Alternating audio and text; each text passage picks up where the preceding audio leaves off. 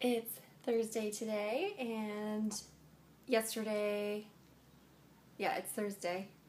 Uh, yesterday I was going to work out, and I didn't, and today I was needing to work out to get my three workouts in for the week, and I didn't, and I'm not going to. Um, sometimes I go through just funks where I could be really on track and really good at, at doing the things I need to do, and then I just lose it. It's like the way I think about it is like uh, if you ever watch horses at the racetrack and they're all running around and then one of them trips and he stumbles and it takes him a little bit to get back going.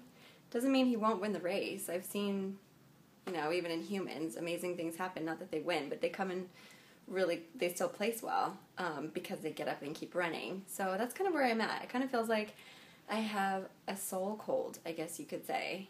Um, we get colds for our bodies, so why can't we get colds for our souls? Kind of just feels like my soul is, or my spirit is just, um, I wouldn't say depressed because I, I mean, I can get out of bed and it's not, you know, all encompassing and, uh, it's not never it's not gonna not go away. I would I would say depression is more a permanent thing. I don't feel like this is permanent. And by the way, I am dressed even though it might look like I'm topless. Um, I wouldn't say this is permanent. I would say it's more just like a soul cold. Like I just kind of am in a funk and I, I don't feel like working out and I don't feel like doing the things I need to do. I don't feel like eating well and working out. Doesn't mean I'm going to do this forever. It just means I need to give myself a little bit of time. I need to give myself a little bit of a break um, when I felt this way before, sometimes it's easy to be hard on yourself, and, and if you lose your motivation, you think, oh, I'm never going to get it back. This is terrible. I've lost it. But I've learned from my past experience that that's not true.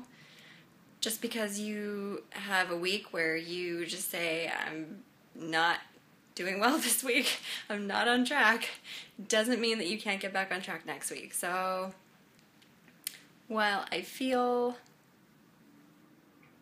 like I have a soul cold, I know it'll go away and I know I'll get back on track.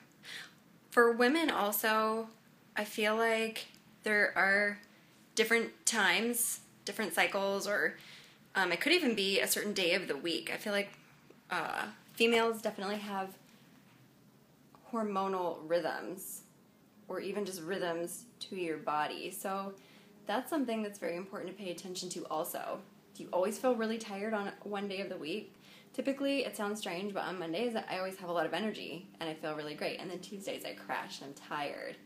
And it kind of feels like, hey, wait a minute, I thought I started off the week really well.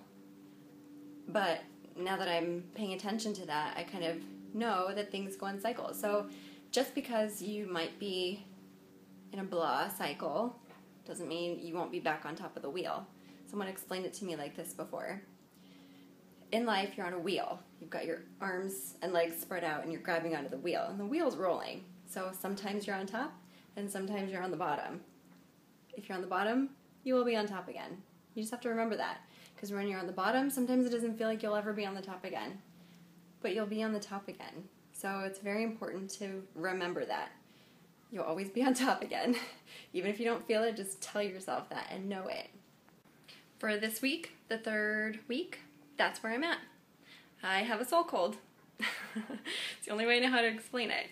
I know it'll go away, and I hope it goes away soon. I'm I'm doing things to actively try and make it go away. Rest is one of them.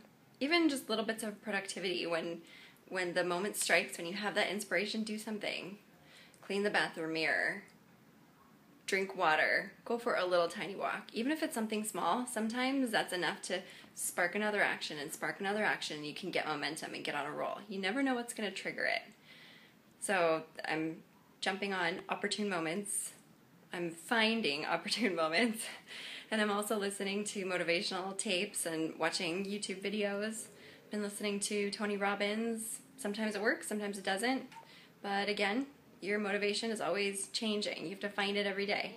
It's not in the same place every day. Today, it's in a different place, but I'm finding it. And I'm kind of just resting, going with it. And that's okay. It's okay. It's okay.